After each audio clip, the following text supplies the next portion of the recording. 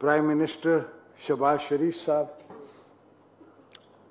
Khalid Isaac डार साहब, खालिद मकबूल सिद्दीकी साहब, खालिद मंगसी साहब, अलीम खान साहब, सादिक संजरानी साहब, एजाजुल हक साहब, प्रोफेसर साजिद मीर साहब अस्सलाम वालेकुम मेरी बहनों, बेटियों और दोस्तों, भाइयों। अब हम उस एज पे हैं जो मैं ये नहीं कह सकता कि बुज़ुर्ग हो। मैं आप में बुज़ुर्ग हूँ। तो जी, जिस तरह शहबाज शरीफ ने कहा साहब ने प्राइम मिनिस्टर साहब ने फरमाया है कि वाकई चैलेंजेस मुश्किल हैं डिफ़िकल्ट हैं। मगर आइंस्टाइन डिफ़िकल्ट चैलेंजेस से नहीं डरा। तो शहबाज शरीफ भी डिफ़िकल्ट चैलेंजेस से नहीं डरेगा। और हम उसके पीछे खड़े होंगे। जहाँ कोई ज़रूरत पड़ेगी, हम अपना ज़ोर बाजू भी देंगे, अपनी इनको electro electoral and otherwise help भी देंगे और इंटरनेशनल हेल्प भी इनको देंगे। मैं समझता हूँ कि पाकिस्तान में अभी भी हमारी चक्कियों में इतना ज़ोर है कि हम वो अनाज बंगा सके, बना सकें, जो हर धरती हमारी दे और हर गरीब खा सके।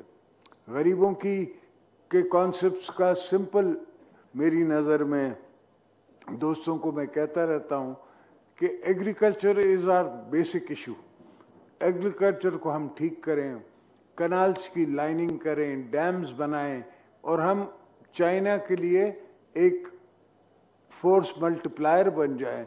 चाइना पाँच ट्रिलियन डॉलर्स की फ़ूड इंपोर्ट करता है। और मेरे पास पूरा बलूचिस्तान पड़ा है जो खाली है, सिर्फ़ सर खराब करना है, पानी लाना है। तो इनशाला मुश्किल ज़रूर है, मगर नामुमकिन नहीं है। तो मेहनत करेंगे, काम करेंगे, आप दोस्तों की मदद से, आप बहनों की मदद से, आप बच्चों की मदद से, और इन पाकिस्तान को हम बनाएँगे। जब मैंने जुल्फ़ार अली भुट्टो साहब का रेफरेंस दाखिल किया था, शहीद का तो कोई नहीं समझता था कि क्या हो सकता है या क्या होगा। मैं समझ रहा था कि क्या हो सकता है। और अल्हम्दुलिल्लाह आपने कल सुना और देखा कि तारीख ने एक पलटा लिया। तारीख मानी कि वो एक जुडिशल मर्डर था। तो अल्हम्दुलिल्लाह इंसान को हर चीज़ में ईमान, यकीन, वो रखना चाहिए।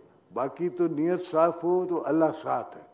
मेरे मौला के बगैर सपोर्ट के कुछ नहीं होता, एक पता नहीं हिलता।